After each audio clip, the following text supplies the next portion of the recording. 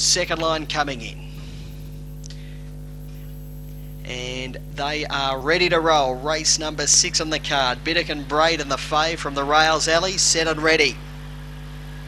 Racing Biddick and Braden began only fairly out wide on the track bit. Ditzy began well and Elusive Ethics is pushing up to go to the lead. Although Dolda Bale is railing through and she took uh, took control from Kid Keller raiding through Shadow Brand. Then came Bit Ditzy, Elusive Ethics. Further back Biddick and Braden, Cool Brock, Rapid Charm. Working off the back, Kid Keller went to the lead, put up four on Dolda Bale. Leader travels. Then came Elusive Ethics and Shadow Brand, but it's Kid Keller for the money.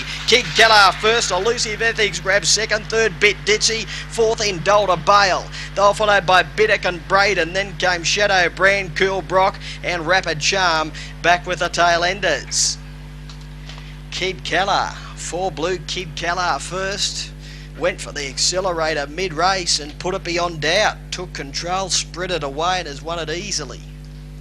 Six green, Elusive Ethics second. Eight pink, Bit Ditzy has grabbed third position and fourth in one of the early leaders, number three, Delta Bale, in 30 and 55. 30 and 55, it is 4, 6, 8 and 3.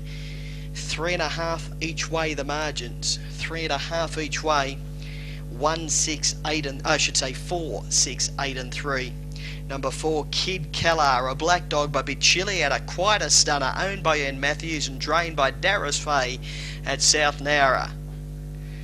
Number six, a Elusive Ethics second, a blue brindle bitch. Surf Laurie